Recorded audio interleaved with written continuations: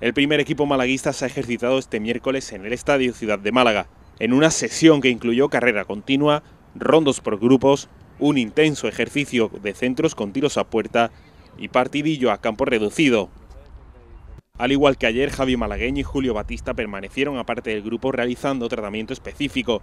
El cancerbero Paul, miembro del Atlético malagueño, estuvo presente y Wellington fue la única baja, ya que prosigue su recuperación con permiso del club en Brasil.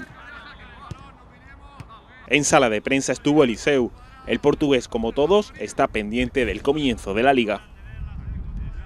Vamos comentando hace una semana más o menos, a ver si hay liga, si no hay liga, pero nosotros estamos con el AFI y, estamos deseosos para prorrogar, pero yo creo que se va el tema y para ver del fútbol.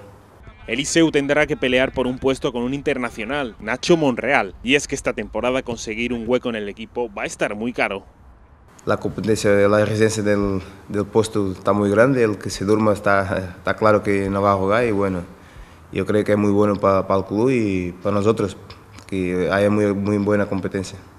Mañana nueva sesión matinal de entrenamiento a partir de las nueve y media en el Estadio La Rosaleda.